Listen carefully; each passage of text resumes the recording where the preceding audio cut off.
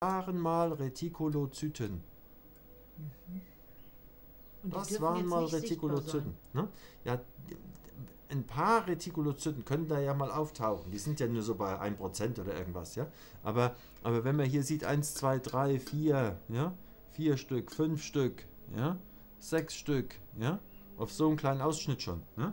Das heißt ja im Prinzip, dass mir hier, da ist schon wieder ein Retikulozyt, da ist einer, da ist einer, da ist einer, ja. Ähm, Das heißt also, hier sind eigentlich zu viele Retikulozyten da. Und zu viele Retikulozyten habe ich ja dann, wenn mir die alten roten Blutkörperchen vorzeitig zugrunde gehen. Ja?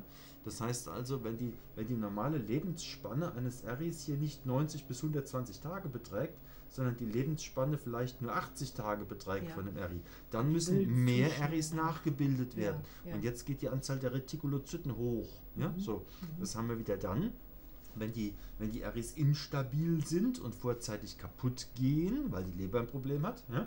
Ähm, das hätten wir aber auch dann, wenn irgendwo halt RIs verloren gehen. Ja? Mhm. Also jetzt beispielsweise bei einer chronischen Blutung, ja? wenn ich sowas irgendwie im Organismus hätte, ja? Ähm, dann hätte ich auch die Situation, ja? dass es jetzt zu vermehrten Retikulozyten kommt. Ne? So. Aber das Lustige ist halt, dass die Retikulozyten, die können wir unter Mikroskop erst dann erkennen, wenn die am, äh, am, im Auflösungsprozess sind. Ja? Vorher nicht. Das heißt, leider nein. Ja? Das heißt, solange der noch so aussieht wie der, kann ich da nicht reinschauen. Ja, Ja? Aber wenn der so aufgelöst ist, hier, pling, weg. Ja? So, ne? Wenn der sich hier so schön auflöst ja? und dann nur noch Reste da sind von dem RI, dann kann man hier innen drin diese Gitterstruktur sehen, ja? die ihn als Retikulozyt klassifiziert. Würde ich nicht jetzt erkennen können. Ich sehe da keine Gitterstruktur. Ich sehe da nur diese Striche. Striche, ja, diese Striche Dann sind ist, die das Gitter. ist ein Dreieck. Und das Ne, das, ist, das ist nicht nur ein Dreieck, das ist, da ist ein Strichchen drunter, da ist da oben noch ein kleines Strichchen also ich und da ist das. an Currygitter. Sowas sehe ich nicht. Ne? So. Okay. Ne? Also mehr Licht kriege ich da jetzt gar nicht rein. Ne? Ja. Ähm, das ist schon Maximum an Licht. So. Aber erstaunlich viele Thrombozyten Ja, ne? Ähm, und ich kann noch mal Makroprotite. gucken, ob ich da noch mal näher rankomme. Ne, bringt uns nichts, weil dann wird es Nee. nur dunkler. Mhm. Ne? Mhm. So.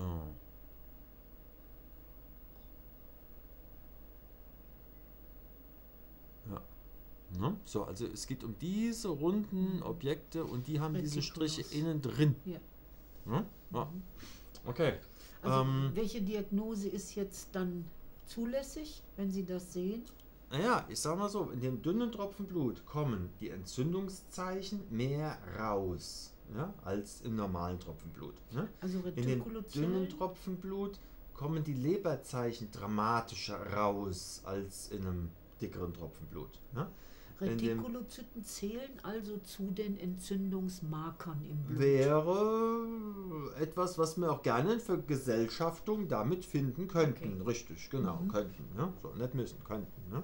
Ähm, gut. Ähm, ja, also wie gesagt, ne, diese, diese Artefakte kommen jetzt bei dem zu dünn abgenommenen Tropfen Blut automatisch mehr ans Tageslicht. Ja. Ne? So. Umgekehrt, äh, je vereinzelter die roten Blutkörperchen sind, desto später setzt die Gerinnung ein. Ja? Das heißt also, die Fibrinfilamente, die wir jetzt hier drin gesehen haben, ja, sind ja eigentlich noch relativ wenig, wenn man so will. Ja, ne? So. Ne? Ähm, ja, äh, weil das Blut zu dünn ist, deswegen gerinnt es jetzt gar nicht so schnell, ja, als wenn wir uns jetzt dann mal zum Vergleich den dicker abgenommenen Tropfen Blut ansehen. Haben Sie Ja? den auch da drauf? Na, den machen wir jetzt da drauf. Okay. Ne? So, ne? Das heißt also, das tun wir jetzt erst einmal weg, das dünne. So. Also wenn wir jetzt den dickeren Tropfen als Ja. Vergleich nehmen zur letzten Blutuntersuchung, Ja, dann könnte ich ja aber klar sehen. ähm, So. Also, ne? jetzt haben wir den dickeren Tropfen Blut. ja, So. Und jetzt gucken wir uns den wieder an. Jetzt haben wir die Beleuchtung erstmal wieder runter.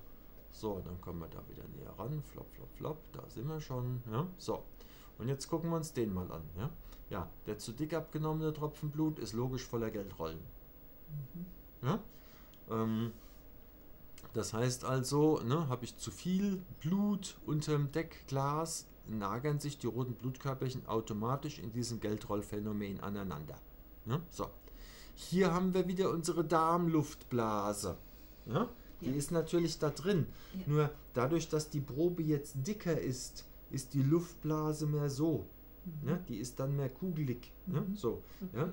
Ähm, ist, dies, ist die Probe dünner, ist natürlich auch die Luftblase flächiger. Ja. Ja? So, okay.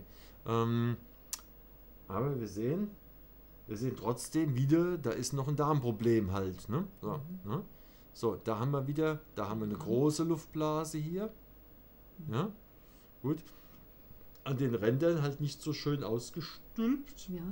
wie jetzt bei dem zu klein abgenommenen Tropfen Blut. Da hat Mhm. man es extremer gesehen. Ja? Mhm. Weil das Ding halt insgesamt jetzt eine andere Spannung hat in der dicken Probe. Ja? Gehen Sie so. jetzt bei der Analyse, gehen Sie dann von innen nach außen oder von außen nach innen? Das ist mir ziemlich egal. Ist es egal. Es ist wichtig, dass ich mir alles angucke. okay, also Ja, wenn Sie ja. den Rand betrachten, sehen So. Sie dann, ob der rot ist? Das können wir dann nochmal gucken. So. Jetzt geht mir es erstmal nochmal darum, egal wo ich hier drin dreh, rumdrehe, überall Geld rollen. Ja. Ne? Ja? Mhm. Weil die Probe zu dick ist. Ja? Und deswegen habe ich jetzt hier überall diese Geldrollen. Das ist ja Mist, dann kann ich das ja gar nicht vergleichen. Ja? Das, Dann das, geht ne? nur das von gestern zum Vergleich. Ja. Äh, Es geht jetzt mal um generell halt. Ne? Es geht jetzt Mhm. einfach mal generell, dass man sieht, was passiert, wenn. Ne? So. Mhm. Ähm, und jetzt gehen wir doch hier mal eine Stufe tiefer, gehen wir mal in die 400-fache Vergrößerung, gucken wir uns das an. So, Aber wir sind jetzt bei den Fehlern, die gemacht werden können. ja. Und, und wie viele Fibrinfilamente haben wir jetzt? Ja, eine Masse. Ja, so. Das heißt also, stehendes Blut fängt an zu gerinnen. Und wenn ich jetzt halt zu viel Blut unter dem Deckglas habe, dann setzt doch automatisch die Gerinnung wesentlich dramatischer ein, Mhm. als in dem zu dünn abgenommenen Tropfen Blut. Das sind alles Entnahmefehler. jetzt. Richtig, So. richtig, richtig. Und da, da die, die muss man kennen. Die muss man einfach kennen. Ne? Mhm. So. Ähm, natürlich könnte man jetzt auch hergehen und könnte einfach sagen, na, dann nehme ich jetzt in Zukunft immer drei Tropfen Blut ab. Ne? Ich mache einen dünnen Tropfen, ich mache einen mittleren Tropfen, ich mache einen dicken Tropfen. Und ich gucke mir alle drei Tropfen an und bewerte alle drei Tropfen. Ne? Dann hätte ich wahrscheinlich diesen Entnahmefehler ähm, ausgeglichen. Den Tropfen. Wäre wär eine lustige Idee. Ja, aber Hm? wenn Hm? ich jetzt es gleich richtig machen möchte, Dann, brauche ich diesen Tropf- mittleren Tropfen Blut. Ja? Wie Dann- groß muss der sein? So, äh, ich gehe mit dem Deckglas in den Tropfen rein, nicht bis auf die Haut, sondern Ja. sonst drücke ich die Zellen. Ja. Ich gehe mit dem Deckglas in den Tropfen rein, sodass ich dann einen hängenden Tropfen Blut an dem Deckglas habe, Ja. mit einem Durchmesser von ungefähr so 1,5 Zwei Millimeter. Millimeter. Ne? So, ne? so, so ungefähr ist so der, Also der, der, Schnitt. Tropfen auf ne? der Fingerbeere, der ist Ja. unerheblich, wie dick der ist. Das, was ich mit dem Deckglas davon entnehme, Richtig. das ist ausschlaggebend. Das ist der entscheidende Punkt. So, das und, und wenn ich mit dem. Deckglas da reingehe, dann, dann ist ja, je tiefer ich gehe, desto breiter Ja, wird es am ja, Deckglas. ja, ne? So. Also und, und jetzt gehe ich so, so dran, dass ich halt wirklich diese 1,5 Millimeter ungefähr habe. Und dann habe ich auch ungefähr, dadurch, dass das ein hängender Tropfen ist an dem Deckglas, auch ungefähr immer dieselbe Menge an Blut. So habe ich mir das aber gedacht, dass das ausreichen würde. Vorhin mit Mhm. dem bisschen, was ich da Ja. Sie gesagt, der ist zu klein. Ja, der Okay. war zu klein, ja. Ne? So, also wir sehen, egal wo ich dahin drehe, massiv Fibrinfilament im Ja, Hintergrund. ja, Ne? So, okay. okay. Das Jetzt ist haben wir aber die Beleuchtung Kunst wieder der runter. Ja. Und das braucht halt eben auch Übung. Ja, und Ja? dieser Tropfen darf sich oder muss sich dann über das gesamte Feld ausbreiten. Ja, eigentlich nicht. Also das ist jetzt, das das ist jetzt auch wieder so eine Sache. Ne? Also habe ich ein Leberproblem, wird das Blut fließen wie Wasser und dann geht es immer bis zu den Rändern. Ja? Egal, ob es Ähm, zwei oder ein Milliliter ist. Richtig, genau. Ne? E- Egal, egal wie viel Blut das ist. Ne? Mhm. So, ne? Ähm, hat das Blut eine anständige Oberflächenspannung, wird es nicht bis zu den Rändern komplett hinlaufen. Mhm. All, alle Ränder. Ne? So, Ja. ne? Äh, und wenn ich jetzt einen normal abgenommenen Tropfen Blut habe, ja, dann hat es von mir aus an eins, zwei Rändern halt mal ein bisschen Randschluss. Das ist halt nun mal so. Da kann man schlecht verhindern. Ja? Da müsste ich den Tropfen so klein machen, ja, dass er keinen Randschluss hat und dann wäre er schon wieder zu klein. Also das wäre das wäre auch wieder Quatsch. Ne? Mhm. Ja? Also wenn das so an, an zwei Rändern Randschluss hat, ist das okay. Wenn es an allen vier Rändern Randschluss hat, ist entweder das Blut zu dünnflüssig oder ich habe zu viel Blut abgenommen. Okay, Ne? Also Ja. das wäre so. Ne? gut. Ja, Gut, dann schauen wir mal weiter. So, ähm, das sieht ja verheerend aus im Gegensatz zu gestern.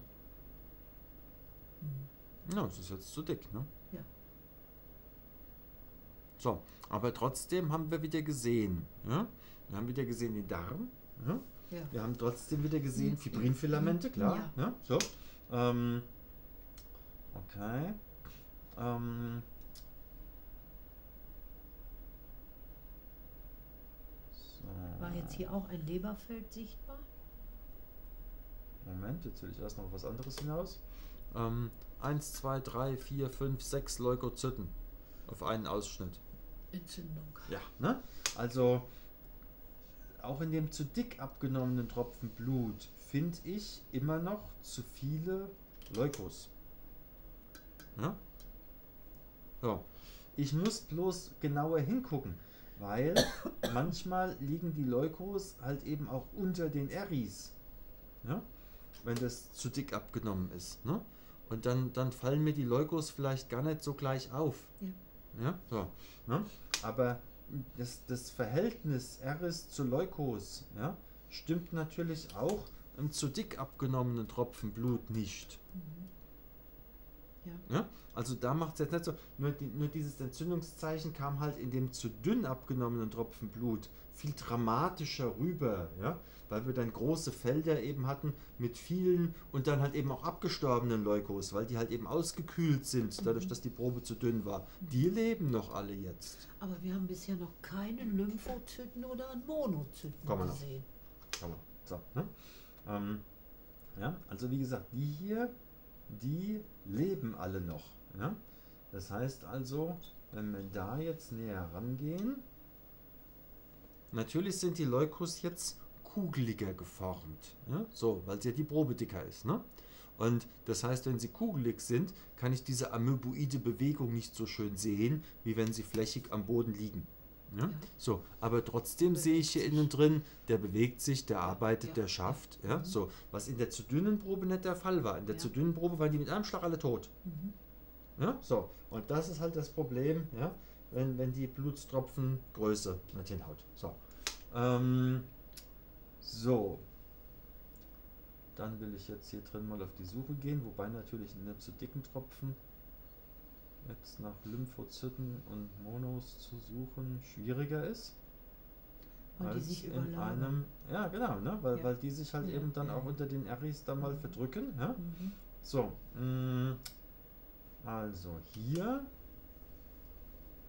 haben wir einen Lymphozyten. Das ist ein Lympho. So, ähm, gehen wir eine Stufe näher. Ne, stopp, das war schon näher. So, Der Lymphozyt hat doch den Kern ganz groß. richtig, Im Gegensatz zu Mono, da hat Herz- oder Nierenförmiges Exakt. Segment. exakt. Aber den würde ich jetzt gar nicht So. als Lymphozyt. Ach doch, der füllt das ganz Ah, aus. ja, Jetzt- so, jetzt, ne, wenn die Beleuchtung runterfahren, ne, dann kann man das immer schöner einen sehen. leuchtenden Punkt haben? Die haben- Lympho? zwischen 0 bis 5 dieser Leuchtenpunkte. Ja? So. Und jetzt ist das ein alter Lymphozyt. Woran kann ich jetzt erkennen, dass das ein alter Lymphozyt ist? Weil die, diese leuchtenden Punkte sind so groß. Na, ne? Nein. Ähm, das sehe ich daran, dass zwischen Kernmembran und Zellmembran nur ein ganz geringer Abstand existiert. Das Ding ist ja fast nur Kern. Ja. Ja? Das heißt, wenn ich so ein bisschen da hin und her jongliere, dann kann man jetzt sehen, dass äh, die äußere Membran ist da und die innere Membran ist so ein Millimeter nebendran. Mhm. Ja? Und wenn ich ins Mikroskop schaue, dann kann man auch sehen, ja, dass die äußere Membran sich nicht richtig darstellt. Die ist wie so ein bisschen verschwommen. Ja? Das heißt also mit anderen Worten, die ist aufgeraut, die ist aufgefranzelt. Mhm. Ja? Und daran sieht man auch wieder, dass das ein alter Lymphozyt ist. Mhm. Ne? Wenn das ein junger Lymphozyt wäre, dann kann das sein, dass die Zellmembran hier außen rum liegt. So weit außen entfernt kann die Zellmembran sein. bei Würde einem der jungen sich Lymphozyten. bewegen? Lymphozyten bewegen sich auch wie die Granulozyten, die haben auch eine amöboide Bewegung. Ja, so. Nur die neutrophilen Granulozyten, das sind die ersten Abfangjäger an der Front. ja, die müssen sofort am Einsatzgebiet sein. Das heißt, die sind am schnellsten. Ja. Ja? Ähm, das zweitschnellste sind die eosinophilen Granulozyten. Die eosinophilen Granulozyten, das ist so die Müllabfuhr im Blut. Ja. So. Ja. Müllabfuhr hat ein bisschen mehr Zeit. Ne? Die erste Abwehrtruppe ist das Entscheidende. Ne? So. Ähm, und dann kommen Monozyten und Lymphozyten in ihrer Bewegungsfähigkeit. Ja? Das heißt, wenn wir jetzt diesen Monozyten oder Lymphozyten, ja, wenn wir uns die über Stunden anschauen, Stunden, dann können wir auf einmal sehen, ach, der ist ja einen Zentimeter darüber Ja, gewandert. Ja, ja. Mhm. Okay. Stunden. Ja? So. Und deswegen hat man immer so das Gefühl, die hätten keine Bewegung, aber das stimmt nicht. Ja? Die bewegen sich auch vorwärts, aber halt eben im Schneckentempo. Ja? So. Und jetzt ist bei dem Lymphozyten hier halt eben interessant, also innen drin die Chromatinverteilung ist schön gleichmäßig, das ist okay, das ist wunderbar. Ne? Deswegen ist der manchmal so ein bisschen dunkler, mal ein bisschen heller. Das hat was mit dem, mit dem internen Aufbau dieses Kerns zu tun. Ne? Aber was interessant ist, da sind zwei dieser Zellorganellen drin. Ja? Ähm, es gibt, oder besser gesagt drei, wenn man es genau nimmt, da oben nämlich noch so ein Ja. kleiner Punkt. Ja. Ne? Ähm, es gibt bis heute keine Lebensdifferenzierung von Lymphozyten. Ne? Das heißt also, wir können jetzt nicht anhand dieser Punkte sagen, ähm, das ist ein B-Lymphozyt, ein T-Lymphozyt, eine Helferzelle, eine Suppressorzelle, Ja. eine Ja. Memoryzelle Ja. oder weiß der Geht nicht. Kuckuck was. Ja? Mhm. So. Ähm, ne? Die haben halt je nach Aufgabe andere Zellorganellen. Und deswegen haben die Lymphozyten auch manchmal wie so wolkenartige Strukturen da drin. Ne? Daneben ist ja auch irgendwie so ein bisschen was Wolkiges da drin. Ja? Ne? Also ähm, die haben halt immer ein bisschen ein anderes Aussehen, je nach Unterart von Lymphozyt, um was es sich halt handelt. So, Man ne? sieht jetzt, dass die Organellen einen größeren Abstand haben als Ja, genau, ne? Die, die haben sich jetzt ein bisschen hin und her bewegt. Daran sehen wir Mhm. wieder, der Lympho arbeitet, der lebt, ne? Ja, Der lebt, ne? okay. Ja. Ähm, gut. Aber diese hell leuchtenden Punkte, diese hell leuchtenden Punkte, die sind zu fett, die sind zu groß. Sind das Eiweißstrukturen? Das sind irgendwelche Zellorganellen. Ne? Das sind jetzt Organe der Zelle. Ne? Aber diese Zellorganellen sind normalerweise, diese Punkte, sind nur halb so groß, werden jetzt sogar nur ein Drittel so groß. Ja? Also eigentlich so groß wie der eine, der sich gerade so darunter bewegt. Heißt das, das lymphatische System ist sehr belastet? Das hat jetzt auf jeden Fall irgendwie ein Problem, ja. Ne? Ja, das So. hören Sie heute Morgen an meiner Stimme. Ich habe das Mhm. gestern Abend mal so gemacht, wie Sie das gesagt haben. Ganz, also etwas mehr Ja. Otriven in das linke Nasenloch. Ja, und? Das heißt, die Verschleimung hat linksseitig zugenommen. Okay. Wie soll ich das jetzt definieren? Dadurch, Mhm. dass der Weg geöffnet wurde, ist die Schleimhaut hat mehr abgesondert und gibt das in den Rachenbereich rein über Mhm. die Eustache Röhre. Mhm. Ist das eine richtige Definition? Naja, was macht's Ohr? Also ist das ein es Tick ist- anders? Das habe ich heute Morgen probiert. Also es müsste, es ist so schwer zu rauszufinden. Also ich meine, es ist ein Ticken klarer. Mhm. Ja, wäre schon, wär schon interessant. Also ja. das Ne? ist dann ne- vielleicht. Na gut, aber ne- kommen wir erstmal wieder zu dem zurück. Ja, ne? das kann ja Ähm, dann sein, ne? Naja, nicht ganz. Ähm, also wie gesagt, ne, die, diese, diese Pünktchen, ja, die haben nur so groß zu sein wie das eine Randständige da, dieses kleine Pünktchen da. So groß haben die Zellorganellen normalerweise zu sein. Ja. Und die beiden Zellorganellen sind viel zu fett. Und das Mhm. nächste ist, die leuchten auch grün. Die sind grün. Wofür ist das ein Zeichen, das Grüne? Schwermetalle. Aha. Ach Gott, Agathe. Ja, das atmen wir ja jeden Ja, Tag ein. Ähm, Quecksilber, Blei. das heißt also, es gibt Labore, die bestimmen ja, ja, intralymphozytäre Schwermetalle. Die bestimmen die Schwermetalle aus den Lymphozyten heraus. Mhm, mhm. so. Wir können sehen, da ist was eingelagert an diese Zellorganellen. Und dann sind die fetter und dann leuchten die lustigerweise grün. Im Ja? lymphatischen System. Ähm, was es jetzt für Schwermetalle sind, können wir nicht sagen. Ja? Das kann sein, dass das Quecksilber ist aus Zahnfüllungen. Das kann aber auch sein, dass das Kupfer. Eisen, Blei. Naja, Quecksilber hat im menschlichen Körper eine Halbwertszeit von 39 Jahren. 39 Jahre später ist noch die Hälfte noch da. Aha, ja, 40 genau. Ja? Mhm. Das heißt, wer die einmal drin hat, hat dieser Leben lang drin. gehabt. Lagern sich Ähm, Schwermetalle ja. nur an Lymphozyten an? Da können wir sie sehen. Aha, das heißt es kann nicht, sein, dass, die sonst noch sonst wo sind. Okay. Das, aber da können wir sie sehen. Ja, So, okay. ähm, also wie gesagt, das, das kann aber auch Eisen, Blei, äh, Kupfer sein aus Wasserleitungen, das kann das Cadmium sein vom Zigarettenrauchen, das kann, ja, also es gibt eine ganze Menge unterschiedliche Blei aus Haarfärbemitteln, ja, also es gibt eine ganze Menge unterschiedlicher. Schwermetallquellen. Haarfärbemittel brauche ich nicht und das äh, ist An mir, mir nix. geht es nur darum, dass man halt eben nicht nur Schwermetalle ist, gleich Quecksilber. Mhm. Ja, so, weil es ja häufig so gemacht Ja, wird. im, ja? im Bodyscan kommt das in erster Linie heute raus. Quecksilber und Blei zeigt sich bei jedem. Ja, mehr oder weniger. Ne? Ja. Das ist halt die Frage, habe ich da einen 20-Jährigen, der in seinem Leben noch keine Amalgamfüllung drin hatte, ja? dann wird das Ding auch kein Quecksilber bei dem anzeigen. Doch, hat's. Der Leon ist 19. Ja, Hat trotzdem Blei und Quecksilber angezeigt. Er hat keine Amalgamfüllung. hm. Also mir sind auch schon mal Leuchtstoffröhren kaputt gegangen, die Energiesparlampen, die ja dann lustigerweise Quecksilberdampflampen sind. Und danach hatte ich nämlich den Quecksilberdampf dann im Terrarium, ja. Also äh, es kann natürlich auch solche Quellen Mhm. Von geben, gell? Das ist Geräten abspalten. Ja, okay. Ne? Also ne? immer im Bereich des Möglichen. Ne? Aber, aber so an sich, klar, ich sage mal, jeder, der jetzt momentan äh, 40, 50 ist, hatte in seinem Leben Amalgamfüllungen drin. Ja, Jeder. Sicher. Ja? So. Und okay. logischerweise zeigt es dann bei Mhm. all diesen Kandidaten Quecksilber an, bei einer Halbwertszeit von 39 Gut, Jahren. also Schwermetallausleitung. Ja. Derivatio zum Beispiel. Was auch immer, ja. ja gut. Ähm, wobei halt, wie gesagt, Schwermetallausleitung ist natürlich schon so ein Hexenwerk. Ja? Wie leiten Sie das aus? Naja, schwierig. Also Prosanatox zum Beispiel von Tissot wäre da so ein Präparat. Tissot ist Ihre Lieblingsfirma, außer Lavita. Ja. Mhm, okay. Also wie gesagt, Prosanatox wäre halt so ein Präparat. Ja. Ja, aber Ähm. äh, ich habe gestern bei Tissot nachgeguckt. Ich wollte ein basisches Präparat haben. Die haben aber auch Natrium mit drin. Und das gehört ja eigentlich in ein Entsäuerungspräparat gar nicht rein. Mhm. Habe ich auch nicht verstanden. Okay. Ja. ja, ich nehme auch nicht alle Präparate von Tissot. Mhm. Es ist nicht so, Gut. dass ich da von allen Präparaten da jetzt. Wenn ja. Sie den Menschen, ähm, so. ja, wenn Sie herausfinden, dass der Mensch da zu sauer ist, Lymphozyt. was geben Sie für basische Präparate? Welche? Lavita. Obst- und Gemüsekonzentrat. Ja? Ohne etwas anderes noch an Spurenelementen oder Magnesium, Calcium, Verbindungen, Zitrate? Mhm. Nein. Mhm. Okay. Ja. Ähm, der hat jetzt eine hell leuchtende Zellorganelle. Ne? Wäre jetzt also ein anderer Lymphozytentyp.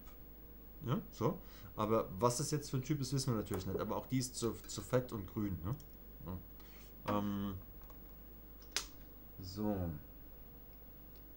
Farbe grün nochmal. Äh, Schwermetalle. Schwermetalle, ja, gut. So.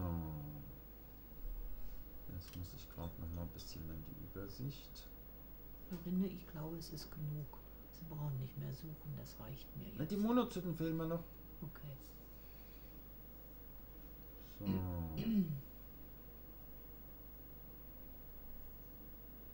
Wobei die hier drin schwer zu finden sind, weil Proben zu dick. Ja? Ähm, das heißt, wenn wir hier wieder schauen, ne? da sehen wir jetzt schön bei der 400-fachen Vergrößerung wieder Lympho. Ja. Ne? Die Lymphos kann man schön finden da Ja. drin, ne? das ist okay. Aber ich gehe jetzt nochmal rüber auf, die, auf diesen dünneren Tropfen Blut. Das heißt also, den tun wir jetzt wieder weg. Und dann nehmen wir doch jetzt mal spaßenshalber wieder den, den alten. So, jetzt brauche ich wieder die Grill, dann sehe ich wieder nichts. So, einmal angedockt. So. Ähm, dann gehen wir wieder hundertfache Vergrößerung. So, ähm, Flop, da sind wir wieder. So. Und jetzt brauche ich wieder die 400-fache Vergrößerung. So. Und jetzt gehen wir hier mal suchen, weil da ist nämlich jetzt alles schön einzeln. So. Und das hier ist jetzt schon ein interessanter Kamerad. So. Der hier. Ja. Mhm. Ne?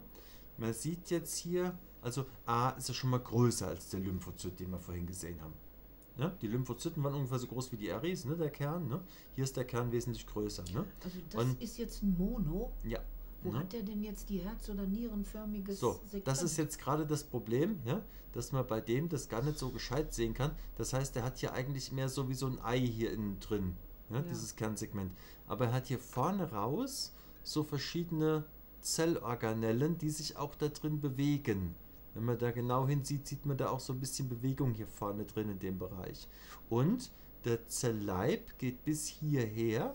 Ja, da hinten liegt er ziemlich dicht an. Da ist Kernmembran, fast Zellmembran. Aber da vorne geht so richtig so ein Bauch raus. Und da sind hier vorne drin wie so feine Tentakelchen, die sich auch da drin bewegen in der Zelle. Ja? Und dieser hell leuchtende grüne Punkt ist hier vorne drin in dem Bereich. Mhm. Auch wieder Schwermetallzeichen. Ja. Ja. Also Die grünen Punkte sind es bei Lymphozyten und Monozyten, ja. Mhm. Ne? So. Aber das wäre jetzt so ein klassischer Monozyt. So. Ne? Also bei dem Lymphozyt ist die Kernmembran um die Zellmembran herum. Das ist Können jetzt Sie wieder Farbe- Lymphozyt. Können Sie ne? die Farbe bitte mal rausnehmen, ob ich das auch ohne Farbe in meinem Mikroskop als grün sehen kann? Farbe raus. Ja. Wie nehme ich Farbe raus? Ich kann höchstens hier die Farbe. Nee, das ist Weil die ich habe Helligkeit. das ziemlich aber- neutral eingestellt. Bei mir Ja, schimmern ja, die nicht ja. lila, die Iris. Ja, das ist natürlich jetzt eine Frage. Ob ich Guck das mal. bei normal, neutralem Licht Ja, sehe ich es nicht grün. das ist jetzt Schwarz-Weiß-Darstellung. Ja. Das ist halt, ne? So. Mhm. Und sobald ich ein bisschen Farbe reindrehe, ist das Grün schon da. Mhm. Ja, ich mache halt Okay. immer extrem viel Farbe rein. Ne? Aha. So, aber jetzt hier wieder zu dem Lymphozyt. Ja? Ja. Hier ist die Kernmembran und Zellmembran überall mehr oder weniger derselbe Abstand. Ja. Ja? Der Kern ist rund. Mhm. Ja? So, gut, das ist jetzt auch ein ausgefranster alter Lympho und so, ja, aber, aber an sich, Mhm. ne, der, der sieht rundherum gleich aus. Nur Mhm. da halt ist jetzt diese hell leuchtende Zellorganelle. Ne? Mhm. Wohingegen der Monozyt, der hatte den Kern doch mehr auf der einen Seite gelagert und hatte dann vorne raus diesen Bauch. Mhm. Ja, so. Mal Ich gucken, könnte das nicht nächsten finden. Das Ah, können da, da, da, Das da. können nur Sie als Fachmann. Herr Rinde, machen Sie jetzt bitte Schluss. Das reicht mir. Das reicht mir. Ich habe jetzt beide Zellarten gesehen und das reicht mir aus. Ich möchte eher noch mit Ihnen über den Ausweis sprechen. Ja, Wenn wir das noch ganz kurz machen können. ja. So. Bei eBay haben Sie gesagt. Und über so ein, ähm, ähm, na, was ist das hier? Über eine DVD vom Dunkelfeld, so ein Leerfilm. So, hier nochmal zum Abschluss. Der, der